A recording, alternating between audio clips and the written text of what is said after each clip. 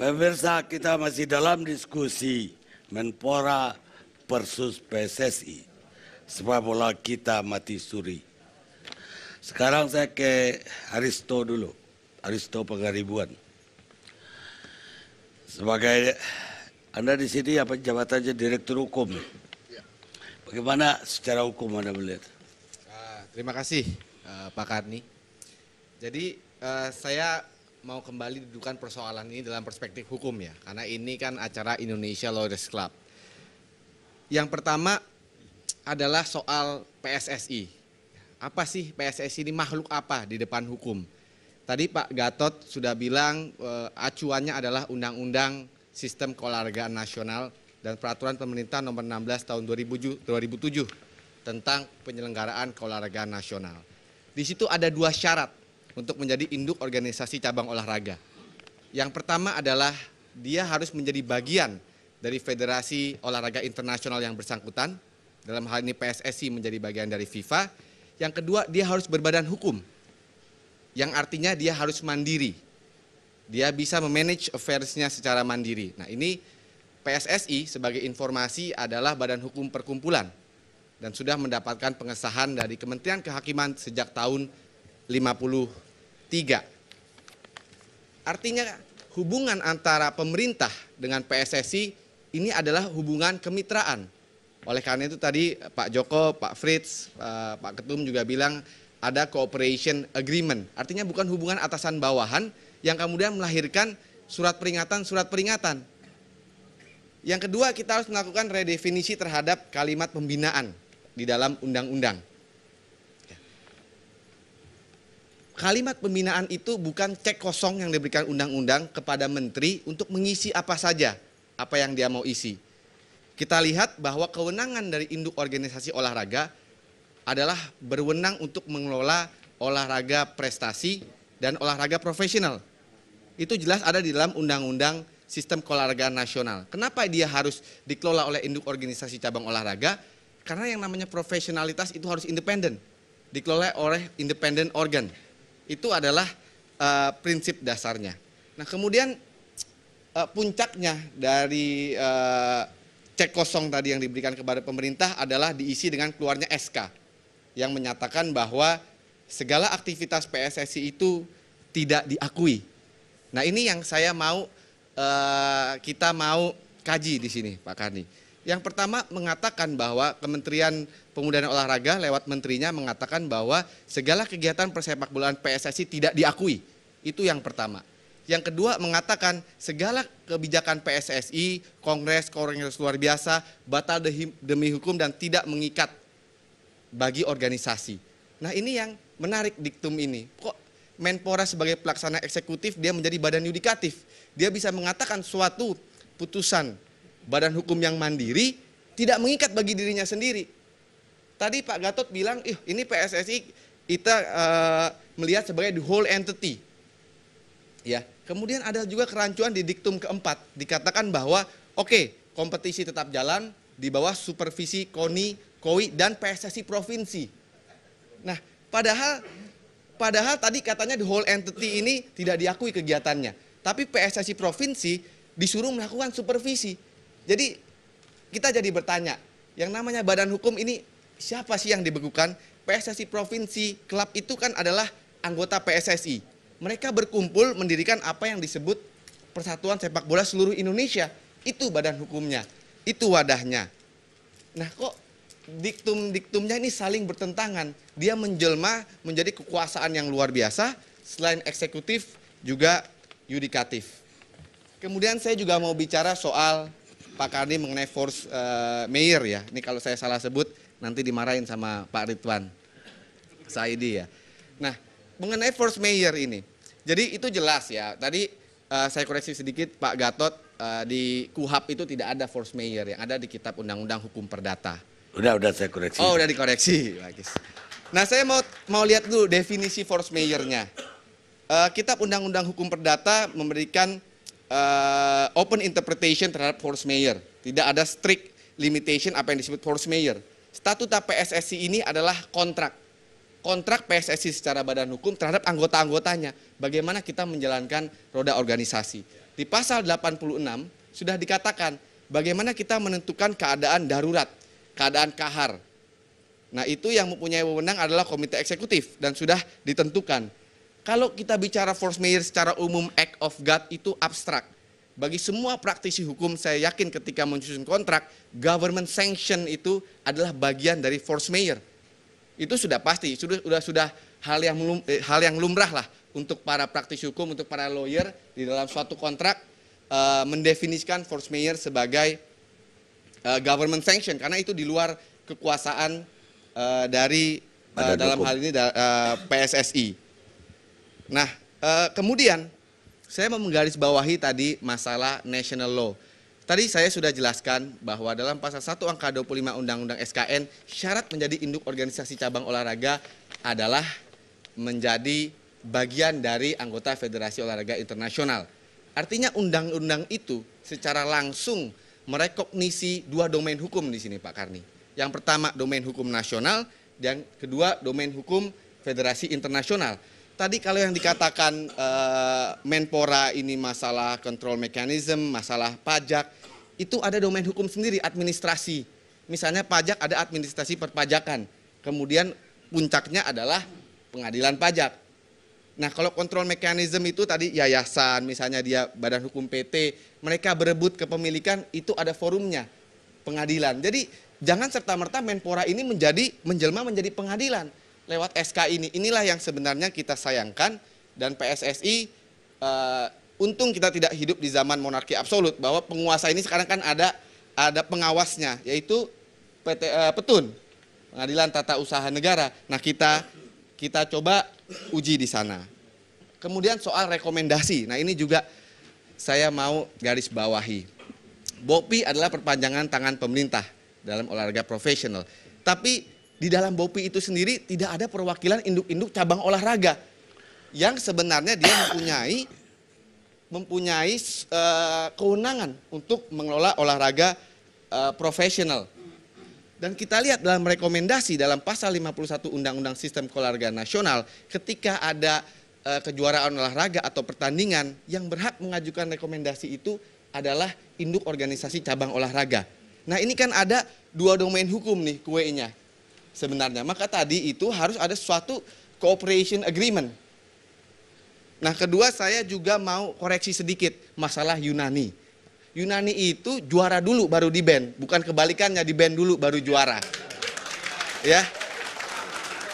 Saya masih ingat dulu ya, saya juga kaget Yunani bisa juara. Yunani itu juara tahun 2004, competitionnya di band tahun 2006. Jadi jadi uh, itu sesuatu hal yang uh, perlu dikoreksi. Baik, terima kasih. Saya sekarang mau nanya pemain nih. Tadi asosiasinya udah. Uh, Erianto, pemain PSIR Rembang. Ya, betul sekali. Udah berapa lama Anda bermain? Untuk uh, bermain profesional saya baru masuk pada tahun ini. Ya. Untuk junior-junior saya dari kecil sudah bermain sepak bola. Di di mana? Di kampung halaman di Sukabumi uh, di sekolah sepak bola dan pernah ikut kejuaraan-kejuaraan uh, bersama timnas Indonesia junior. Baik, apa yang terjadi setelah katakanlah uh, PSSI dibekukan dan berlanjut dengan dihentikan semua pertandingan liga?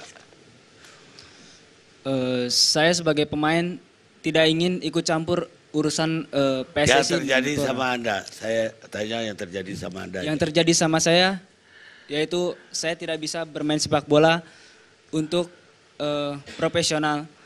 Se saya tertunda karena ada pembekuan ini tim-tim uh, di semua kompetisi diliburkan dengan adanya hal ini saya sebagai perwakilan dari teman-teman merasa sangat sedih sekali tidak bisa berkompetisi dan bisa sangat disayangkan sekali generasi muda kita uh, dari anak kecil tidak bisa bermain untuk timnas jika pembekuan ini terjadi. Ada sendiri punya mata pencarian lain? sebelumnya?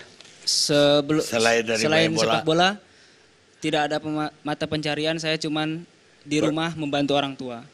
Sekarang setelah dibekukan Apa yang terjadi? Anda pulang lagi ke kampung atau tetap di Rembang? Eh, seminggu terakhir ini saya pulang ke kampung halaman karena di Rembang juga diliburkan, tidak ada latihan juga tidak ada kompetisi, maka saya kembali ke kampung eh, bekerja di sana membantu orang tua saja. Membantu kerja apa itu? Orang tua saya sebagai petani dan, saya kembali eh, bertani dan saya cuma bisa latihan eh, memotivasi anak-anak di sana. Apa harapan Anda sekarang dengan kejadian seperti ini? Harapan saya ke depan, saya sebagai generasi muda, eh, saya berharap bahwa pembukaan ini tidak terjadi dan eh, PSSI berserta Menpora tidak ke depannya tidak terjadi lagi hal seperti ini dan yang saya harapkan ke depannya Menpora dan PSSI bekerja sama untuk membangun persepak bolaan di Indonesia. Apakah diliburkan itu berarti gaji Anda juga dihentikan? Ya jelas sekali. Eh, dari prediksi gajian di awal bulan karena dengan adanya pembekuan dan kompetisi diundur-undur hingga sampai saat ini belum berjalan divisi utama, maka hak kami sebagai pemain belum direalisasikan oleh manajemen. Sedangkan kami sendiri beberapa bulan terakhir terus berlatih. Baik, terima kasih Arianto. Saya mau ke Christian Gonzalez. Ini pemain senior yang terkenal. Anda bermain di klub mana sekarang? Saya sekarang di Arema Cronus, malam Arema. Arema. Udah berapa lama di situ? Mau tiga tahun, Tiga tahun. dia tiga tahun. Ya, apa yang terjadi setelah ada pembekuan PSSI, pertandingan dihentikan, cerita yang Anda alami sendiri? PSSI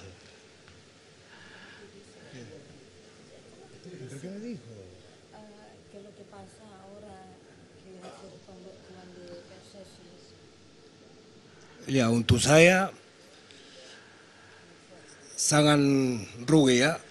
Untuk saya keluarga dan klub dan juga untuk semua teman-teman pemain sepak bola ya. Karena kita nggak bisa apa, nggak bisa latihan, nggak bisa juga nggak bisa main dan juga untuk pemain muda nggak bisa keluar semua kemampuan untuk ke depan. Bagaimana dengan pendapatan Anda income selama sejak dibekukan?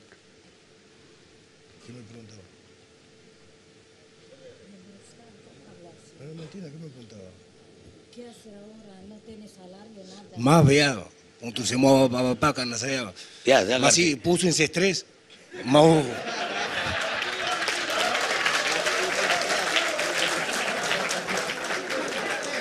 ya saya saya bicara jujur itu benar sekarang ya karena ini hidup kita pemain bola.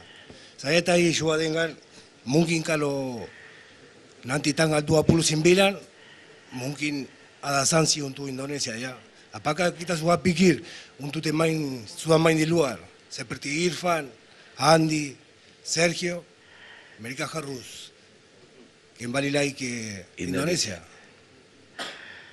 Jadi apa yang terjadi tadi setelah eh, ada pembekuan, rileks saja, jangan stres. Ya, Eh, setelah dibekukan, penghasilan Anda sendiri bagaimana? Salary.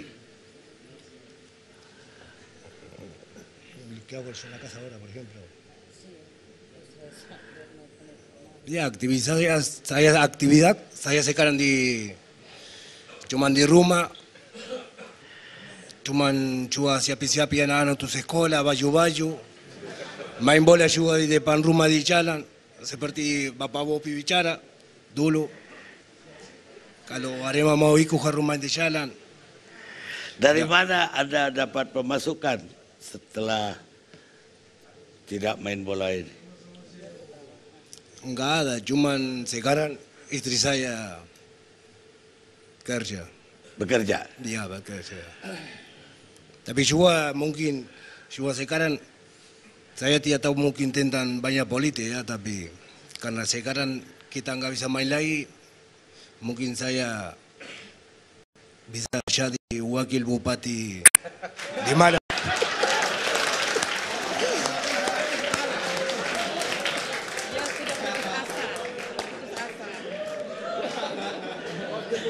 Itu itu apa terjadi sekarang? Saya